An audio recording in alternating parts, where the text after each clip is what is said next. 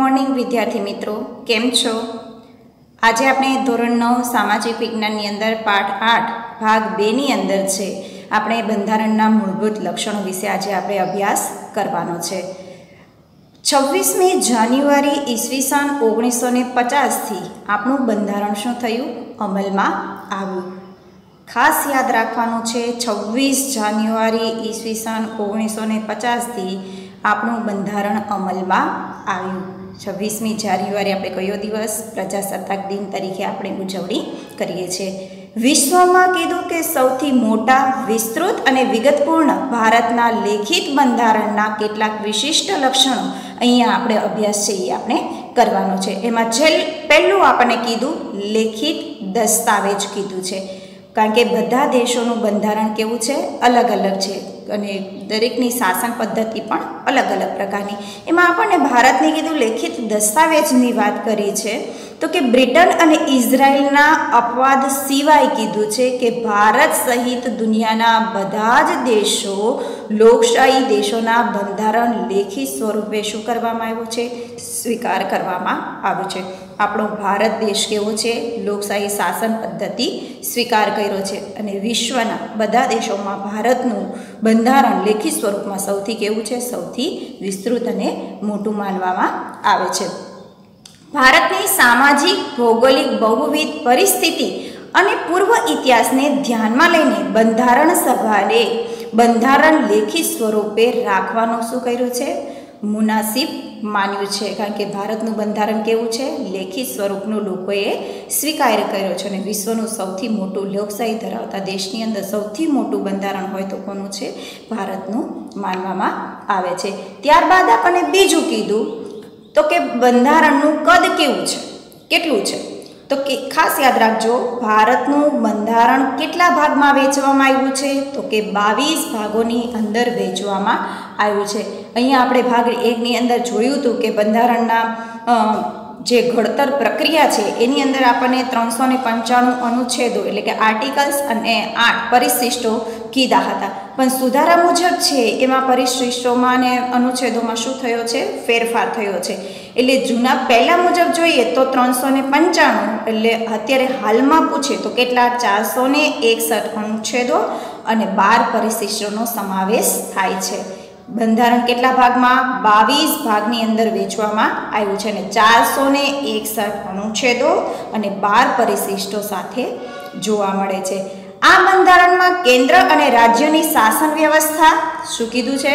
આપણા બંધારણની અંદર કેન્દ્ર અને રાજ્યની શાસન વ્યવસ્થા અને તેમના આંતર સંબંધો અને લોકોના મૂળભૂત હકો, ફરજો, રાજનીતિના માર્ગદર્શન સિદ્ધાંતો, ન્યાયતંત્ર, ચૂંટણી પંચ, સ્થાનિક સ્વરાજની સંસ્થા, લઘુમતીઓ પછાત અને વંચિત સમૂહો માટેની ખાસ જોગવાઈ કરવામાં આવી છે. આપણું વિશ્વનું સૌથી લેખિત સ્વરૂપનું મોટું બંધારણની અંદર જોવા જઈએ તો બંધારણની અંદર લોકોના કીધું છે, મૂળભૂત હકો, ફરજોનો સમાવેશ થાય છે, રાજનીતિના માર્ગદર્શન સિદ્ધાંતો, ન્યાયતંત્ર, ચૂંટણી પંચ, સ્થાનિક સ્વરાજની સંસ્થાઓ, આપણને ખબર છે ને?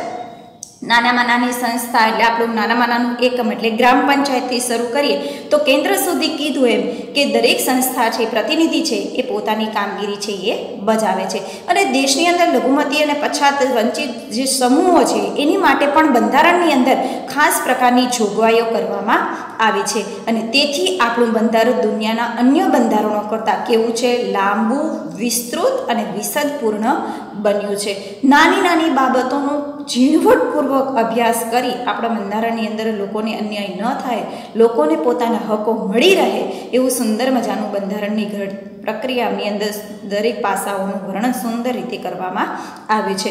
ત્યારબાદ કીધું કે એક, ત્રીજો કીધું, એક જ નાગરિક તત્વ. હવે એક જ નાગરિક તત્વ એટલે? પહેલું તો એ થાય કે નાગરિક એટલે શું? નાગરિક તત્વ. તો કે જે વ્યક્તિનો જે દેશની અંદર જન્મ થયો હોય, એ દેશનું એને શું મળે? નાગરિક તત્વ મળે. ખરું ને? આપણે ભારત, આપણે કીધું કે ભારતના કોઈ પણ ખૂણામાં જાઓ, ઉત્તર, પૂર્વ કે પશ્ચિમની અંદર જાઓ, તો ગુજરાત હોય, આસામ હોય કે આંધ્ર હોય, કે કોઈ પણ રાજ્યની અંદર વ્યક્તિનો જન્મ થયો હોય, તો પણ એને નાગરિક તત્વ શેનું મળે છે? ભારતનું મળે છે. જ્યારે અમેરિકા જેવા દેશમાં દરેક વ્યક્તિને બેવડું નાગરિક તત્વ મળે છે. શું કીધું છે? બેવડું નાગરિક તત્વ. તો કઈ રીતે? તો એક તો કીધું છે યુનાઇટેડ સ્ટેટ ઓફ અમેરિકા અને બીજું છે કે પોતે જે રાજ્યમાં વસવાટ કરતો હોય તે રાજ્યનું પણ એને શું નાગ મળે છે? નાગરિક તત્વ મળે છે. એટલે બે નાગરિક તત્વ તેને પ્રાપ્ત. એક તો યુનાઇટેડ સ્ટેટ અને બીજું એક અમેરિકા. ત્યારબાદ કીધું કે જ્યારે ભારતના ગમે તે રાજ્યમાં આપણે રહેતા હોઈએ, ગમે તે રાજ્ય એટલે આપણે અત્યારે ઓગણત્રીસ રાજ્યોની અંદર જોવા જઈએ, જમ્મુ કાશ્મીર હોય, પંજાબ હોય, ગુજરાત હોય, મધ્યપ્રદેશ હોય કે માર કોઈ પણ જગ્યાએ તમે જાઓ, તો એની અંદર આપણે કોઈ પણ રાજ્યની અંદર રહેતા હોય, પણ આપણને નાગરિક તત્વ એટલે કે આપણે ભારતીય જ નાગરિક તત્વ ધરાવે છે. એટલે આપણે રાજ્યની અલગ નાગરિકતા જેવું કંઈ હોતું નથી. ઉદાહરણ તરીકે આપણે માની લો કે આપણો જન્મ ગુજરાત રાજ્યની અંદર થયો છે. તો ગુજરાત રાજ્ય છે, જ્યારે આપણને નાગરિક તત્વ શેનું પ્રાપ્ત થાય છે? તો કે આપણને ભારતનું નાગરિક તત્વ પ્રાપ્ત થાય છે. ત્યારબાદ આપણે જોવા જઈએ તો ચોથું પોઈન્ટ છે, મજબૂત કેન્દ્રવાળું સમવાયી તંત્ર. આપણને મજબૂત કીધું છે, કેન્દ્રવાળું સમવાયી તંત્રની સુંદર મજાની વાત કરી છે. કે ભાઈ આપણો ભારત દેશ છે, ભારત દેશની અંદર બધા રાજ્યો અલગ અલગ રીતે પોતાની કામગીરી બજાવે છે, બધા સાથે મળીને પણ પોતાની કામગીરી કરતા હોય છે. પણ આપણે જોઈ લઈએ કે ગ્રામ પંચાયત હોય, એની તાલુકા પંચાયત હોય, જિલ્લા પંચાયત હોય, આ ત્રિપંચાયતી રાજનું ત્રિસ્તરીય માળખું છે. ત્યારબાદ તમે જિલ્લા લેવલે જાઓ તો બે વિભાગ, નગરપાલિકા અને મહાનગરપાલિકાનો સમાવેશ થાય છે. પછી તમે રાજ્યમાં જાઓ, તો તમે વિધાનસભા અને વિધાન પરિષદનો સમાવેશ થાય છે. અને ત્યારબાદ આપણે કેન્દ્ર લેવલે, એટલે કે રાજ્યસભા અને લોકસભાનો સમાવેશ થાય છે. હવે અહીંયા આપણો ચોથો પોઈન્ટ એમ છે કે મજબૂત કેન્દ્રવાળું સમવાય તંત્રની વાત કરી છે. તો કે ભારતના બંધારણમાં ક્યાંય સમવાય શબ્દનો ઉપયોગ થયો નથી. સમવાય આપણે આગળના, સમ એટલે સરખું. કેન્દ્ર અને રાજ્ય બંને સાથે મળીને કામ કરે છે. રાજ્ય પોતાની પણ કામગીરી સંભાળે છે અને કેન્દ્ર પોતાની પણ કામગીરી સંભાળે છે અને જરૂર પડે તો કેન્દ્ર અને રાજ્ય બંને ભેગા મળીને પણ પોતાની કામગીરી છે એ સુંદર રીતે કરતા હોઈએ છે પણ બંધારણની અંદર કીધું કે ક્યાંય સમવાય એટલે ફેડરલ શબ્દનો ઉપયોગ થયો નથી. બંધારણ બંધારણ છે એ ભારતને રાજ્યોનો સંઘ તરીકે વર્ણવવામાં આવ્યું છે. બંધારણે ભારતને કેવો કીધો છે? રાજ્યોનો બનેલો સંઘ. સંઘ એટલે કેન્દ્ર. બધા રાજ્યો ભેગા મળી અને આખો એક શું બને છે? દેશ સંઘ બને છે. ભારતીય સંઘીય રાજ્ય છે. ખાસ યાદ રાખવાનું છે, ભારત કેવું કીધું છે? સંઘીય રાજ્ય છે. સંઘ શબ્દ દ્વારા ભારતમાં સંઘ. સંઘ એટલે કેન્દ્ર. અને એકમ રાજ્યો વચ્ચે ક્યારે પણ બદલી શકાય નહીં તેવા કાયમી સંબંધોની લેખિત સ્વરૂપે બંધારણમાં સ્પષ્ટતા કરવામાં આવી છે. ખાસ સંઘ એટલે કેન્દ્ર. સંઘ શબ્દ દ્વારા ભારતમાં કીધું કે એકમ રાજ્યો વચ્ચે ક્યારે પણ બદલી શકાય નહીં. કાર્ય ક્યારે પણ બદલી શકાય નહીં તેવા કાયમી સંબંધો છે એ લેખિત સ્વરૂપે બંધારણની અંદર કરવામાં આવ્યા છે. એકમ રાજ્યને કીધું કે કેન્દ્રથી છૂટા પાડવાનો અધિકાર નથી. કારણ કે કેન્દ્ર છે એ કેન્દ્ર સંઘ એટલે કે કેવું છે? મેઇન છે. એની એની નીચે એકમ રાજ્યો એટલે કે જુદા જુદા રાજ્યોનો સમાવેશ થાય. એટલે કેન્દ્ર છે એ રાજ્યોને કેન્દ્રથી છૂટા પાડવાનો અધિકાર નથી. સંઘ સરકારને કેટલીક વિશિષ્ટ અને ચડિયાતી સત્તાઓ આપવામાં આવી છે. કેન્દ્ર સરકાર અને પ્રાદેશિક રાજ્ય સરકારો વચ્ચે સત્તાની સ્પષ્ટ વહેંચણી કરવામાં આવી છે. આપણે આગળના ધોરણની અંદર પણ શીખી ગયા છીએ. આપણને ખબર છે કે કેન્દ્રનું કામ અલગ છે, રાજ્યનું કામ અલગ છે અને ઘણી વખત કેન્દ્ર અને રાજ્ય સાથે મળીને પણ પોતાની સુંદરગીરી કામગીરી બજાવતા હોય. પણ રાજ્યને જેટલી સત્તાઓ આપવામાં આવી છે, એના કરતાં કેન્દ્રને થોડીક વિશેષ પ્રકારની ચડિયાતી સત્તાઓ આપવામાં આવી છે. એટલે કીધું કે જેથી રાજ્ય સરકાર પોતાના જ પ્રદેશ ઉપર પોતાના કાર્યક્ષેત્રના અનુસંધાને પોતાના કાયદાઓ ઘડી શકે છે. દરેક રાજ્ય, આપણે અત્યારે રાજ્ય જોઈએ કે ગુજરાત હોય, મધ્યપ્રદેશ હોય, કોઈ પણ રાજ્ય હોય, તો એ દરેક રાજ્ય છે, એ સરકાર પોતાના પ્રદેશ પ્રદેશ એટલે પોતાના રાજ્ય ઉપર પોતાના કાર્યક્ષેત્ર અનુસંધાને કાયદાઓ ઘડી શકે છે. કેન્દ્ર અને રાજ્ય વચ્ચે સત્તાના વિભાજન થકી બંધારણમાં બક્ષવામાં આવેલ સત્તાઓ છે એ ભોગવે છે. કેન્દ્ર અને રાજ્યને બંને સત્તાનું શું કરવામાં આવ્યું છે? વિભાજન કરવામાં આવ્યું છે. બંનેને અલગ અલગ પ્રકારની સત્તા. રાજ્ય કરતાં કેન્દ્રને થોડીક વિશેષ સત્તાઓ આપવામાં આવી છે. અને સત્તા વિભાજન થકી બંધારણને બક્ષવામાં આવેલ સત્તા મુજબ દરેક વ્યક્તિ પોતપોતાની કામગીરી બજાવે છે. સમવાય તંત્રમાં તટસ્થ, નિષ્પક્ષ અને સ્વતંત્ર ન્યાયતંત્ર છે. સરકારના કેટલા અંગો છે? ત્રણ. કયા કયા? તો કે ધારાસભા એટલે કે સંસદ, કારોબારી અને ન્યાયતંત્ર. આ ત્રણેયની અંદર આપણને કીધું છે કે ન્યાયતંત્રને કેવું રાખવામાં આવ્યું છે? અલગ, સ્વતંત્ર રાખવામાં આવ્યું છે. કારણ કે સરકાર, આપણે ખબર છે કે પ્રતિનિધિ જે ચૂંટાઈને આવે છે, એટલે એ પ્રતિનિધિ પાંચ વર્ષ પોતાની કામગીરી સુંદર રીતે બજાવે છે. પણ જ્યારે સરકાર કદાચ બદલાય તો દરેક વ્યક્તિ છે પોતાની કામગીરી કરે, પણ અહીંયા ન્યાયતંત્રને કેવું રાખવામાં આવ્યું છે? ધારાસભાને કારોબારીથી અલગ રાખવામાં આવ્યું છે. એટલે જ કીધું છે, તટસ્થ છે. તટસ્થ એટલે કારણ કે દેશની અંદર કોઈ પણ વ્યક્તિને જ્યારે કોઈ પણ મુશ્કેલી પડે છે, ત્યારે પોતે ન્યાય માગવા છે, પોતાના અધિકાર માગવા ક્યાં જશે? ન્યાયતંત્રની અંદર. એટલે પોતે છે એ તટસ્થ અને સ્વતંત્ર રીતે ન્યાય આપવા, આપે છે. જે કેન્દ્ર અને રાજ્ય વચ્ચે સત્તા અને કાર્યોના વિભાજનના સંદર્ભે કોઈ મઠાઘાટ ઊભી થાય, તો તે બંધારણનું અર્થઘટન કરી નિરાકરણ લાવવાની પણ કામગીરી કરે છે. લોકોને ન્યાય તો આપે જ છે નાગરિકોને. પણ સાથે કીધું કે જો કેન્દ્ર અને રાજ્ય વચ્ચે સત્તા અને કાર્યોની અંદર વિભાજનના સંદર્ભે કોઈ પણ મટાઘાટ કોઈ પણ મુશ્કેલી ઊભી થાય, મથામણ ઊભી થાય તો એની અંદર બંધારણના અર્થઘટન કરી તેનું નિરાકરણ લાવવાની કામગીરી પણ ન્યાયતંત્ર ઘણી વખત કરતા હોય છે. ભારતમાં કેન્દ્ર અને રાજ્ય વચ્ચે સત્તાનું સ્પષ્ટ વિભાજન કરવામાં આવ્યું છે. એટલે કેન્દ્ર અને રાજ્યોની સત્તાવાર શું કરવામાં આવી છે? વેચણી કરવામાં આવી છે. એને અહીંયા આપણને ત્રણ યાદીમાં વેચવામાં આવ્યું છે. પહેલું આપણને કીધું કે કેન્દ્ર યાદી બીજું કીધું છે રાજ્ય યાદી અને ત્રીજું કીધું છે સંયુક્ત યાદી. અને છેલ્લે રહે છે, એ આવશે સંયુક્ત યાદી. એમાં આપણને પહેલું આપણો ટોપિક છે કે ભાઈ સંઘ યાદી. સંઘ એટલે કે સંઘ કે કે કેન્દ્ર કે? તો બંને વસ્તુ કેવી રહેશે? એક સરખી જ રહેશે.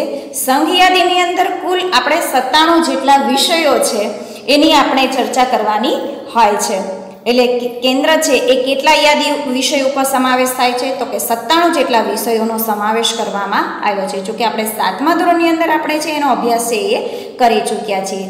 જેમાં કાયદો ઘડવાની સંપૂર્ણ સત્તા છે એ કોણ ધરાવે છે? સંસદ. કારણ કે મેઇન કોણ છે? તો કે કેન્દ્ર છે. હવે કેન્દ્ર છે એ સંઘ યાદીની અંદર કેટલા વિષયોનો સમાવેશ કરવામાં આવ્યો છે? સત્તાણું જેટલા વિષયોનો સમાવેશ કરવામાં આવ્યો છે. તો કે સંરક્ષણ, વિદેશી બાબતો અણુશક્તિ, નાણું, વીમો બેન્કિંગ તાર, ટપાલ, રેલવે વગેરે જેવા રાષ્ટ્રીય મહત્વના ધરાવતા એવા ક્ષેત્રો છે.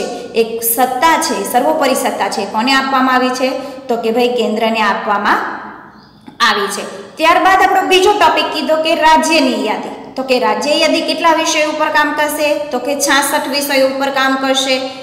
કેન્દ્ર કેટલા, તો કે સત્તાણું, રાજ્ય કેટલા, તો કે છાસઠ વિષયોનો સમાવેશ કરવામાં આવ્યો છે. જેમાં પણ કાયદાઓ ઘડવાની સંપૂર્ણ સત્તા રાજ્યોની ધારાસભા એટલે કે વિધાનસભા ગૃહો છે એ ધરાવે છે. આપણા ગુજરાત રાજ્યની અંદર કયું ગૃહ છે? તો કે વિધાનસભા ગૃહ છે એ ધરાવે છે. કાયદો અને વ્યવસ્થા, શિક્ષણ, સ્થાનિક સ્વરાજની સંસ્થાઓ, કૃષિ, સિંચાઈ આરોગ્ય, ભૂમિ, રાજ્યના આંતરિક, વ્યાપાર, વાણિજ્ય વિષયક સેવાઓનો સમાવેશ કરવામાં આવ્યો છે. શું કીધું છે? રાજ્યને સત્તાઓ આપવામાં આવી છે. એ સત્તામાં કાયદો ઘડવાની વ્યવસ્થા, કાયદો ઘડે છે.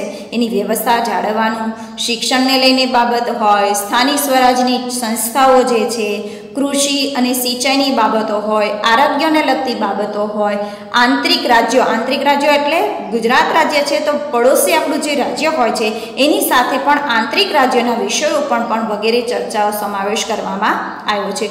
જો કેન્દ્રને લાગે કે રાજ્યમાં કાયદો અને વ્યવસ્થા પડી ભાંગ્યા છે, શું કીધું છે? કેન્દ્રને એવું લાગે કે રાજ્યની અંદર કાયદો અને વ્યવસ્થા પડી ભાંગ્યા એટલે જળવાતું નથી. તો રાજ્યની સંમતિ સાથે, શું કીધું છે? રાજ્યની સંમતિ સાથે કે રાજ્યની મરજી વિરુદ્ધ જઈને પણ કેન્દ્ર તે રાજ્યમાં કેન્દ્રિત અનામત પોલીસ દળોને મોકલી શકે છે. શું કીધું છે? આપણને ઘણી વખત ખબર છે કે આપણા રાજ્યની અંદર એવું લાગે કે ભાઈ રાજ્યમાં કાયદોની વ્યવસ્થા જળવાતી નથી, તો રાજ્યની સંમતિ સાથે અથવા તો ઘણી વખત રાજ્યની વિરુદ્ધમાં જઈને પણ કેન્દ્ર સરકાર શું કરે છે? પોતાનો નિર્ણય છે એ લેતા હોય છે. એટલે કેન્દ્ર રાજ્યને કેન્દ્રિત અનામત પોલીસ દળો પણ મોકલવામાં આવે છે સુરક્ષા માટે, કારણ કે રાજ્યની અંદર કોઈ મુશ્કેલી પડવી જોઈએ નહીં.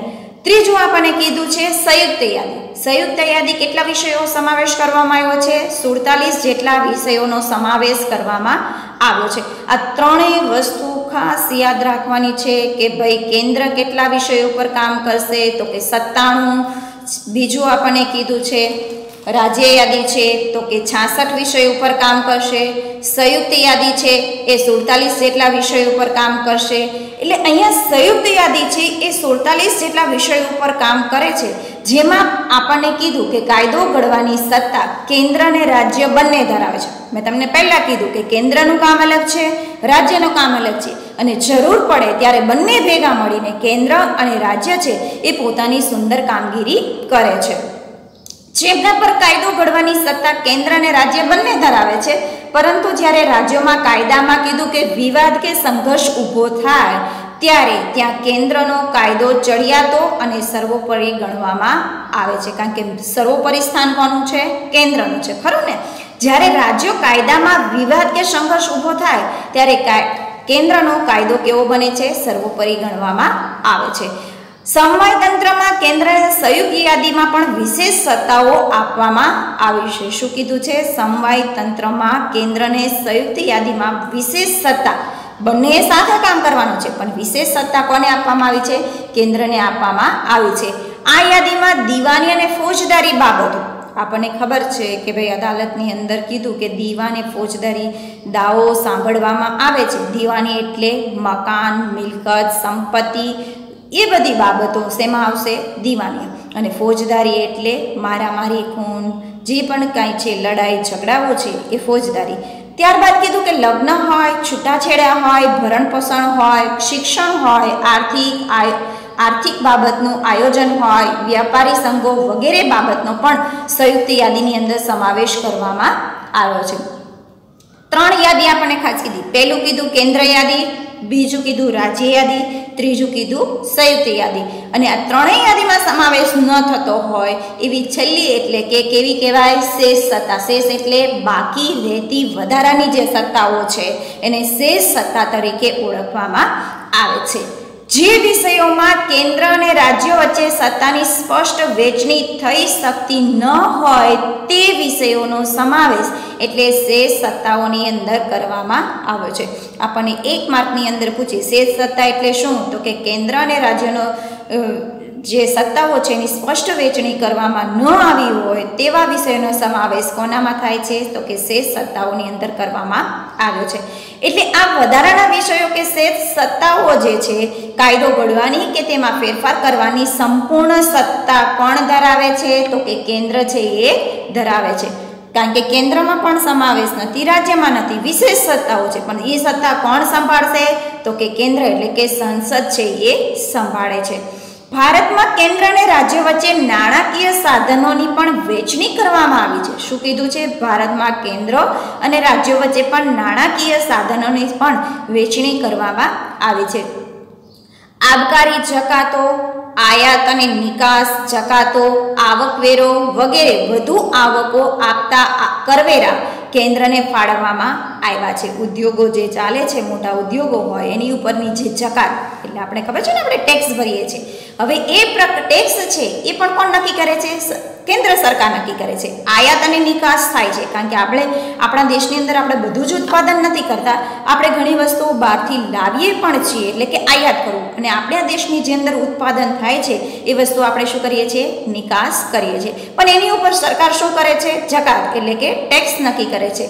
આ આવકવેરો વગેરે આવકો આપતા કરવેરા કેન્દ્રને ફાળવવામાં આવ્યા છે. આ અમુક પ્રકારના જે વિશેષ કરવેરાઓ છે, એ કોના ફાળે જાય છે? તો કે કેન્દ્રના ફાળે આપવામાં આવ્યા છે. જ્યારે વેચાણ વેરો, મનોરંજન વેરો વેરો, મહેસૂલ, શિક્ષણ વેરો જેવી ઓછી આવક ધરાવતા સાધનો રાજ્યને ફાળવવામાં આવ્યા છે. તેથી રાજ્યોએ કેન્દ્ર પાસેથી ગ્રાન્ટ સ્વરૂપે આર્થિક સહાયનો આધાર રાખવો પડે છે.